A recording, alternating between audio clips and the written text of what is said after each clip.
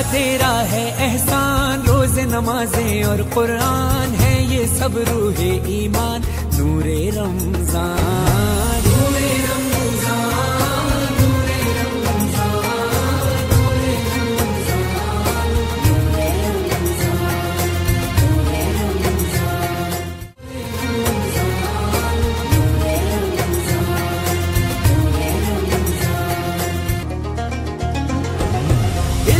अदब सिखलाएँगे दीन खुदा फैलाएँगे मस्जिद में भी